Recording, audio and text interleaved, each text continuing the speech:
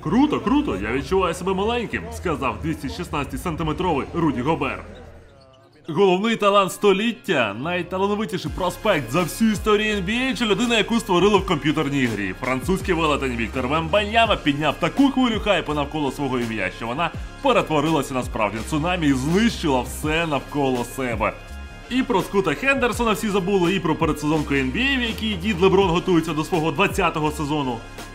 У двох виставкових матчах проти Джилі Гегнайт пан Віктор набирав 36,5 очок, 4,5 блокшоти ставив. Він за два матчі реалізував 9 з 18 триочкових, але тут мова має йти навіть не про цифри, не про статистику, а про те, як він це робить. Ось тут, наприклад, далеко йти не треба, так важчелезний кидок, важчелезний фейдовий від Вембаньяма, він вивалюється кудись за межі корту вже і забиває він через людину.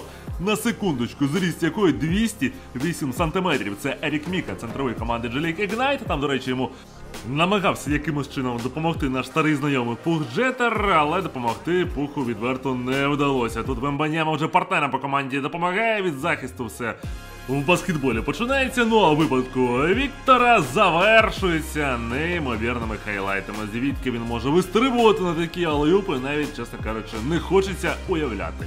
Тривачкове зведення з кута у стилі Стефа Карі також питань немає. До речі, сам Стеф сказав про француза. Його наче в NBA 2K створили як розігруючого семифутера. Він справді читер, такого не буває у баскетболі. Дуже солідний талант. Спостерігати за ним одне задоволення. Це слова Стефа Карі, багато хто порівнює. Вембаняма з Кевіном Дюрентом зрозуміло, чому так, адже дуже схожі вони обидва велетні, обидва вміють все на майданчику.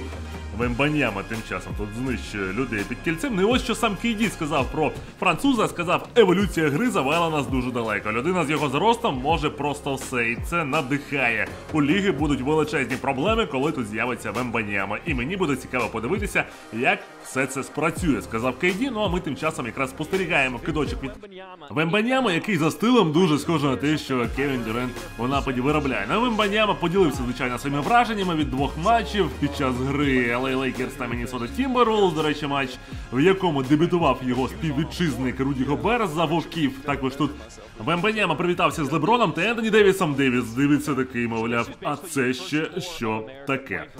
Перше питання, яке поставили Вембанямі, це який у тебе друже зріст. Насправді, ну він сказав, що я, мовляв, не звик свій зріст сам вимірювати. У мене десь між 7,4 7,5 футів. Ну це якраз ті 225 сантиметрів і виходять, про які всі говорять, але тут потрібно розуміти так, що він спан у Вембанями становить 245 сантиметрів. Так що розумієте, він де- десь двох-трьох друзів, які напилися, може легко взяти і додому віднести.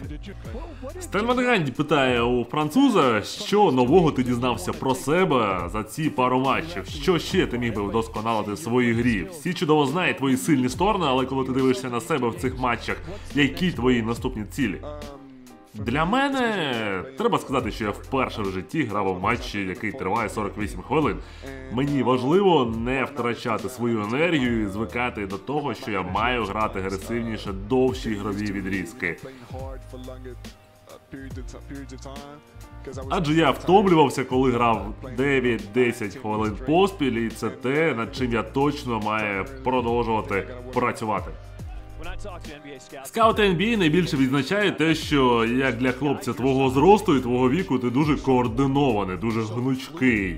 Як ти розвинув собі ці якості? По-перше, я пишаюся. Тому що завдяки величезній роботі мені вдалося налагодити свій кидок, поставити кидок. Я роками думав про це. Ну а щодо координації, Більшість великих гравців, особливо гравці мого віку, вони можуть буквально за рік вирости на 10 сантиметрів, наприклад. Але в мене такого не було. Я був дуже високий, навіть коли був юним ще, дитиною був. Ось у чому справа, так? Тож у мого тіла було достатньо часу, щоб звикнути до самого себе. Марк Джексон питає: «Е, ти вже розумно відповів, що в тебе немає найулюбленішої команди, але чи є в тебе гравець, дивлячись на якого ти міг би сказати, я хочу бути як він? Відразу скажу, що я не хочу ні на кого рівнятися, але за ким я спостерігаю найбільше, за Янісом та Кейді. Зараз вони мої найулюбленіші гравці. Послухаємо Леброна також про Вембаньяму. Джеймс не потрапив до шорт-листа француза, але вражений його талантом.